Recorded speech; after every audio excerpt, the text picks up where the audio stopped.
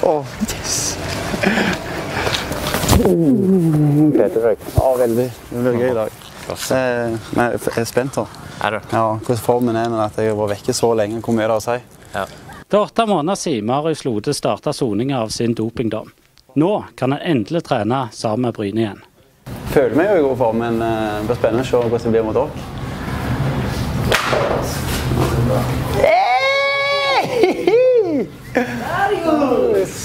Den gutten. Velkommen tilbake. Takk skal du ha, vet du.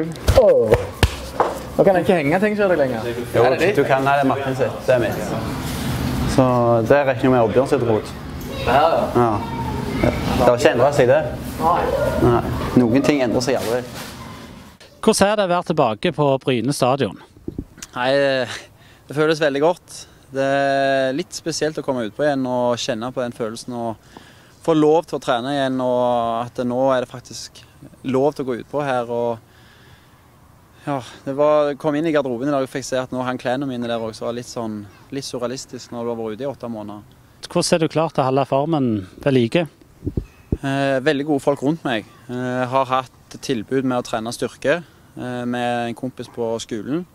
Og så har jeg hatt, vært så heldig å bli tatt kontakt med av eh, en som heter Søren. Så tilbudet å la meg få være med dem og trene hver søndag og hver tirsdag. Så jeg får være med på søndag- og tirsdagskvelder og tilbringe kveldene mine i bingen på Frøyland. Um, og så har jeg måttet sprunge litt utenom for å prøve å ha best mulig form mot denne dagen. da.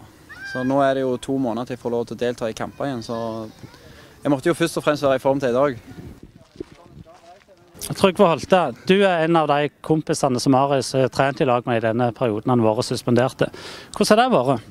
Det har vært greit. Vi har sprunget en del i skogene i Kaneland, så han eh, viser bra takter og har sprunget godt ifra meg. Så jeg tror det går bra for han. Hvordan tror du at Marius vil klare den overgangen fra åtte måneder pause fra toppfotballen til nå være tilbake igjen? Um, etter hvert så tror jeg det kommer sikkert litt rusten i fotballbevegelse og litt sånt, men kondis og styrkemessig tror jeg ikke han er så langt bak. Men du er vikingsupporter. Hvordan i alle dager vil du hjelpe Bryne med å få en spiller så god som mulig? Det er viktig å passe på kompisene sine. Hva betyr det for Bryne at Marius nå kan trene med klubben? Nei, det er Vi får en profil tilbake. altså En eh, som er lokal, eh, som eh, betyr mye for folk i regionen. Så det er en stor dag. Kjekk dag.